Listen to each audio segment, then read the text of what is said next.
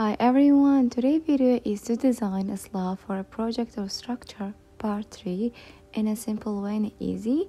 Before I start, my channel is about uh, 3D designs and tutorial. And if you are new here don't forget to subscribe like and share. So let's get started now this is how it's look like. We have designed uh, in a previous video the foundation the grade beam and the beam and the columns so now we are left uh, to close the open areas which is the slab. I'm gonna go now to the ground floor and then select here the slab tool. After that we have here option up and down uh, where it's gonna be reference plan uh, location so before that i'm gonna explain for you something which is uh, to make for you clear on the structure we have two options the option two if we click we have here different op uh, like options giving us the concrete floor insulated with the 10 millimeter detail and for the parquet for the another uh, designs based on what they are considering for you or the concrete floor with the parquet and the flat floor.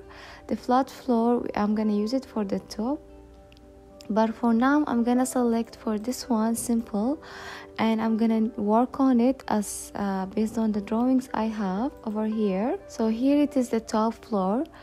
So this is how the first floor is gonna look like and we have an open area. The ground floor we have all the slab uh, which is uh, based on the structure uh, we have here 10 millimeter. So we're gonna go over the drawings so we're gonna select over here 100 and then uh, over here 10 and we can draw like this over all until at this point just select it. I'm gonna fix the edge part. Over here it's gonna be over here. And the lower part I'm gonna fix it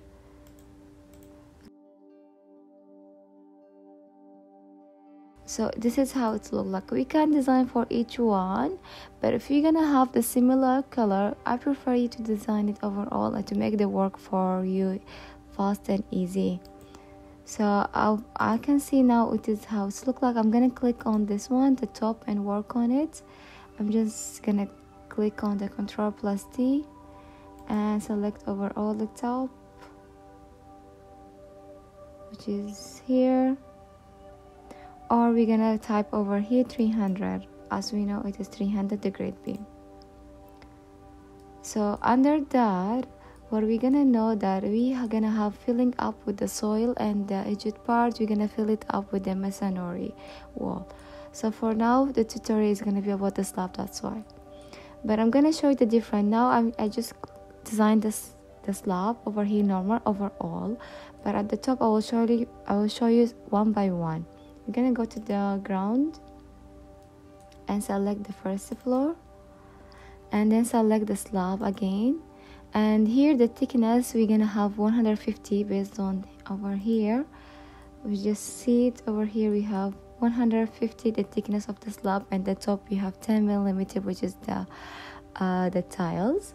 So for now we're gonna just design the structure. That's why I'm gonna go with 150 I'm gonna go over here and then select here 150 and then draw over here from this column to the another beam. Show you on 3d and then select oh this one the color. Sorry I'm gonna work with this one.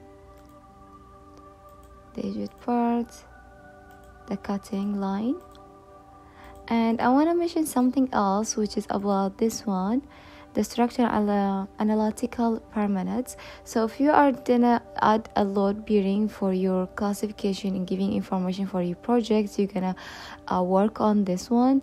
So we're gonna just adjust the load bearing. And if you are just you want to ignore the smalling points and the offset you're gonna work on it and then you're gonna adjust whether your translated load is gonna be at the rigid or no. So it is gonna work on your best your projects. For me i'm gonna go with uh, undefined because all the structural loading is gonna be defined in another software not here. Just here to give you an idea. So I'm gonna click OK.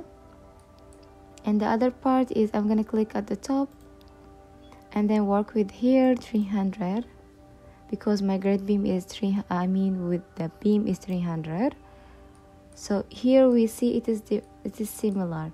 It doesn't show me another color unless if I'm gonna change the color to I mean uh, to concrete 04 it showed me the difference but for as we know the concrete filling up is overall the color column the beam and the slab is gonna have the similar color. So I'm gonna go here and click over this one control plus shift plus D. And just make a copy for other areas. Click on this one and adjust the size for this one also. And then control plus shift plus D. And then adjust the size if you have similar dimensions you can just make a copy for all one in similar way. This is how it's look like let's see on 3d so this is it. And the rest is gonna be the top floor but the top floor i'm gonna select the flat floor i mean the flat roof. I'm gonna go to the roof floor. So select the undershell uh, i mean the slab tool and then here i'm gonna go with this one and select here flat roof. And we know here the flat roof you have a dimension which is standard. What we're gonna do is just design overall till to the end point and let's see on 3d this is how it's look like. I'm just gonna adjust the, the cutting line over here to make all like visible in similar color. Just click ok. So where it's what is showing me for me more clean now it is all on the same but here it is top because we are using the flat floor uh, I mean flat roof. So we are gonna add here parapet wall and it's gonna be covered and it's not showing us more and it's gonna be covered the the flat roof so this is how it's look like in a simple way designing and the rest is gonna be designing this the staircase in a L shape. And if you have any questions you can comment below. And don't forget to subscribe like and share. And thank you for watching